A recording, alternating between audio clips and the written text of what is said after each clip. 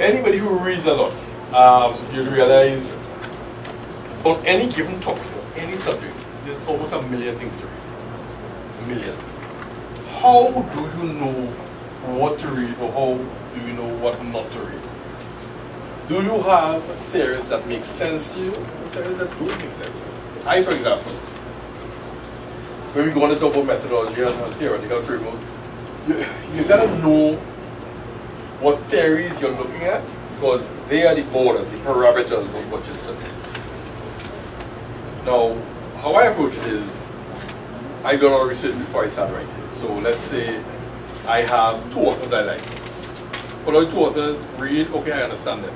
Again, you all must know there's some authors who everybody talks about the greatest author you will, although don't understand a thing they say. Mm-hmm. Standard draft. I look at the authors, I understand, and then I go to bibliography. See who they understand. and then that helps me to guide what I'm going to read. Otherwise, you're just going to be reading, reading, reading. And then another thing, which we talk about again on Thursday, you need to know when to stop. There's a time when you're going to stop. Otherwise, you will never finish any project. Again, in this component of study, to this to outline some of the relevant theoretical information related to international competitive things you write. So that was just for me information contained in text as well as supported readers. So you gotta know what theories you're gonna use. But again, if you don't use theories, you're gonna write willingly.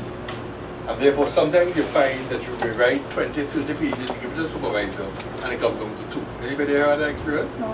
It happens. It happens. Because you gotta tighten your theoretical perspective. You gotta understand the conceptual framework.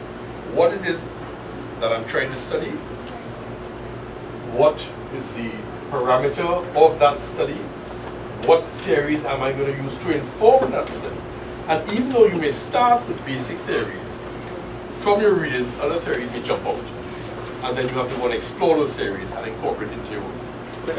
Um, with your lit review, is there like a standard amount of readings your supervisor looks for?